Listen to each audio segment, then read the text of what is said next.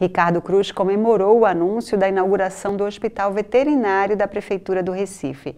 A unidade será aberta na quinta-feira, dia 8 de junho.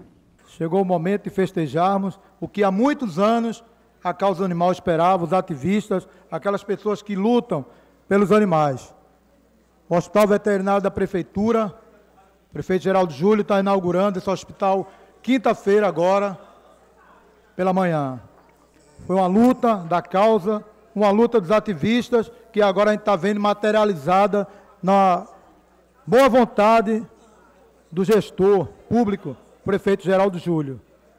Quero reafirmar e parabenizar a prefeitura por fazer esse hospital, por criar a Secretaria de Direito dos Animais, onde tantas gestões passaram pela essa prefeitura e nunca se importaram em fazer isso, e o prefeito teve sensibilidade para fazer.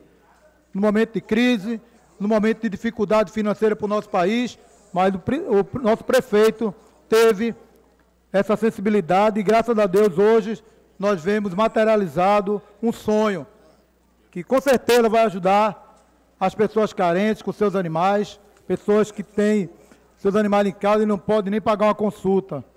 Ontem mesmo estava falando com a pessoa de madrugada, a pessoa estava com o cachorrinho agonizando e falando comigo no telefone e eu escutando aquilo, e nós tivemos que, hoje de manhã, levar para uma clínica veterinária, onde a gente arcou com tudo, porque a pessoa não tinha condições de arcar. É esse tipo de pessoa que esse hospital com certeza vai abraçar e vai ajudar com seus animais sofridos e carentes, sem falar dos animais de rua. Nós ali vamos ter as castrações, cirurgias, raio-x e todo o suporte.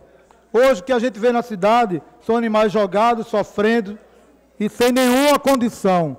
Temos o Hospital Veterinário da Rural, que é um hospital escola, que não consegue é, atingir toda essa demanda. Da parte do Estado, nós ainda não temos nenhum hospital, clínica ou atendimento qualquer. Mas a prefeitura, graças a Deus, teve essa sensibilidade e agora vai ser inaugurado.